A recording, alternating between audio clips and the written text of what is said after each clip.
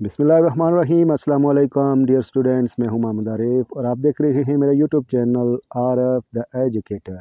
Dear students, मेरे channel को like, subscribe कीजिए, इसको शेयर कीजिए, अपने फ्रेंड एंड फैमिली के साथ बेल आइकन नोटिफिकेशन को ज़रूर प्रेस कीजिए, ताकि मेरी आने वाली हर वीडियो सबसे पहले आप तक पहुँचे। डियर स्टूडेंट्स, आज हम Allama Iqbal open university text book development part one दरसी कुतुब की तैयारी, जिसका कोर्स कोड है six double five two M M Ed level इसका लेक्चर नंबर आठ पढ़ेंगे, जिसका अनुमान है दरसी कुतुब की मनसूबाबंदी प्लानिंग अ टेक्स्ट बुक अब हम देखते हैं कि दरसी कुतुब की मनसूबाबंदी क्या है। दरसी कुतुब पर काम शुरू करने से कबल ज़रूरी है कि इसकी तनजीम व तरतीब के बारे में मुकम्मल मनसूबाबंदी की जाए। मतन की डिज़ाइनिंग से मुराद तलबा को पढ़ाने के लिए मालूम के मैज़ चंद एक टुकड़े लिख लेना नहीं। हालाँकि बेशतर लोग इस मतन को डिज़ाइनिंग समझ लेते हैं। मतन की तरतीब हकीकत में दौरान तलीम जैनिया मवार की अंजामदेही की तरतीब पर रखी जाती है। लिहाजा मतन की डिज़ाइनिंग के लिए इस पहलू का जानना बेहद ज़रूरी है। कौमी नसाब की खाका साजी वेस्टबेरी ने नसाब और दरसी कुतुब के मबैन तल्लु को बड़े अच्छे अंदाज में पेश किया है।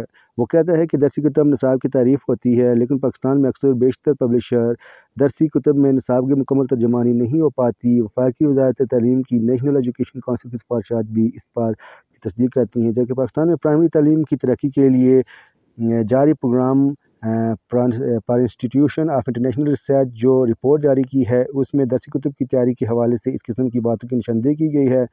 इसी रिपोर्ट का एक पैराग्राफ जेल में दिया जा रहा है। दिगर बहुत से वालों की तरह पाकिस्तान भी टेक्स्ट बुक और दिगर निसाब की मोनीस का अंदाज के लिए सख्त तरीन और साइंसी अमल के ज़रिए स्कूल में आजमाशी और नज़रियात सानी करने के बजाय मुख्तलिफ़ आरा पर अनसार करता है, जिससे मवाद की तासर में फ़र्क आता है और तलबा की तलीम मुतासर होती है। पाकिस्तान की प्राइमरी स्कूलों में तलबा की नाकस तलीमी कारकर्दगी और बड़ी तादाद में ड्राप आउट यानी तलीम हदूरी छोड़ देने के पीछे भी एक बड़ी वजह है। पाकिस्तान में नसाब और दसी कुतब की तैयारी की सूरत हाल।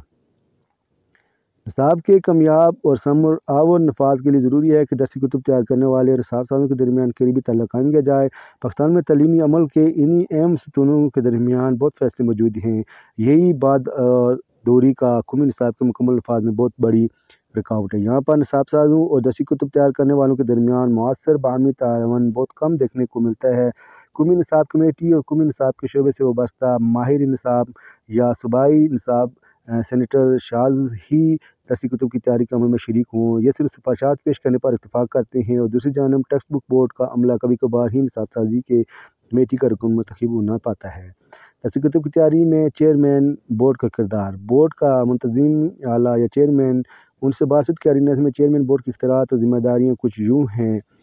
चेयरमैन प्रिंसिपल एग्जेक्टिव ऑफिसर के तौर पर बोर्ड की सरबराही करेगा और इस बात की यकीनी बनाएगा कि बोर्ड के तमाम अफसर और अमले सौंपी जाने वाली जिम्मेवारियों को ऐसे अंदाज में अंजाम दें। चेयरमैन बोर्ड पॉलिसी साजों के दरमियान भी करदार अदा करेगा। यहाँ पर सवाल उठता है, क्या चेयरमैन बोर्ड तहकी पॉलिसी साजी डॉक्टर मुजफ्फर अब्बास का जवाब नफ़ी में देते हैं? क्योंकि तमाम पॉलिसियाँ वफाक और सूबाई सेक्रेटरी से जारी होती हैं। यहाँ तक बोर्ड चेयरमैन का ताल्लुक है। वो तो पॉलिसी साजी का इख्तियार कर के बोर्ड के डायरेक्टर के मिसाल से इस्तेमाल करता है पॉलिसी साजी।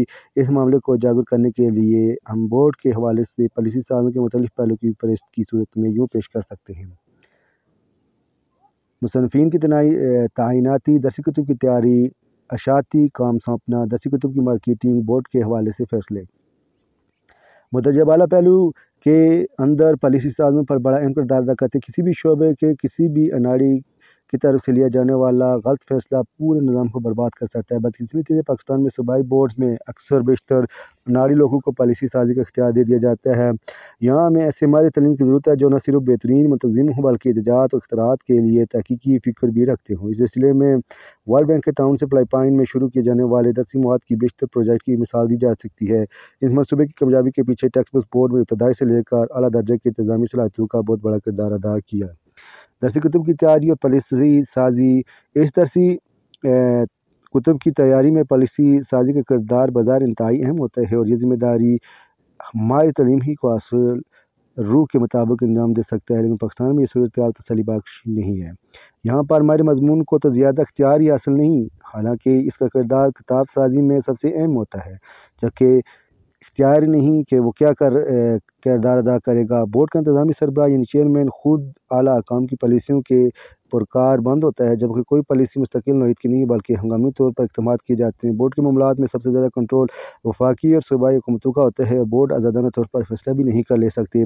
हालाँकि बोर्ड को कानूनी तौर पर खुद मुख्तार दर्जा होना चाहिए। दरसी कुतुब की तैयारी के अमवार बेशतर इस माहरीन तालीम मुसनफिन और दीगर कुतुब लिखने वाले पैनल का ख्याल है कि दरसी कुतुब तरीन नहीं की जाती इन किताबों के निसाब के अन मुताबिक माउन करने की कोशिश की जाती है दरसी कुतुब की मनसूबाबंदी और तैयारी के हवाले से जमा मनसूबाबंदी दरकार होती है इसमें तमाम पहलू की प्लानिंग शामिल होती है जिसमें निसाब मवाद हयाती नफसियाती नताज महारत इकतदार हक़ तस्वरत वगैरह को मतन में शामिल किया जाता है। पढ़ाए जाने वाले हिस्सों के लिए असाइनमेंट मताल तरीर, हिसाब किताब, मशक़ें शामिल की जाती है। मिसाल की हाल इसबाब नतज मुजना तकबली जायज़ा अनात तेली अनात के ज़रिए साख्ती, मनसूबाबंदी होती है। फिर लसानी मनसूबाबंदी की बारी आती है। अल्फाज का ज़ख़ीरा, मकाला लमती और दीगर इस्तेमाल का जायज़ा लिया जाता है। सरगर्मियों, सवालत और मुख्तलिफ़ किस्म के प्रोजेक्ट पेश किए जाते हैं। तलबा के जहनी और अमली तौर पर मसरूफ़ किया मसरूफ़ किया जाता है। इसके बाद तमसीलात तस्वीरों पर गौर जाते हैं तमाम बात किसी न किसी फ़लसफ़े के तहत अंजाम पाती हैं, जिससे समझना बेहद ज़रूरी है।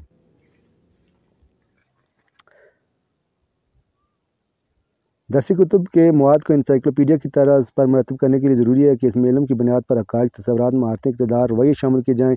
इसमें मताल, दौर, दोबारा तहरीर करना, याद करना और इनको जैसी असाइनमेंट होनी चाहिए। दरसी कुतुब का ढांचा मसाइल, उनके हल की तकनीक को बुनियाद बनाकर तश्ल दिया जाए। दरसी कुतुब में रवाब तसल के लिए ज़रूरी है कि नज़रियात और तसरत पर बड़े वाजे हों, यानी इन पर तबसरा करने वाले अल्फाज और फ़िक्रे पढ़े जाने के काबुल और समझ जाने के काबुल हों। दरसी कुतुब में पेश की जाने वाली मौजूद ज़ुबान और मकाले के जुल्म में पेश की जाने वाली वजात मौजू के अहम मुताबिक होनी चाहिए। इसके साथ इलम से भी ताल्लुक बरकरार रखना बेहद ज़रूरी है। याद रहे कि मतन सिर्फ़ तलबा की ही अनाज के लिए नहीं, बल्कि यह इस का भी अहम तदरीसी ज़रिया आता है। इसलिए तलब इलम को पता होना चाहिए कि इसने मतन के साथ क्या सलूक करना है।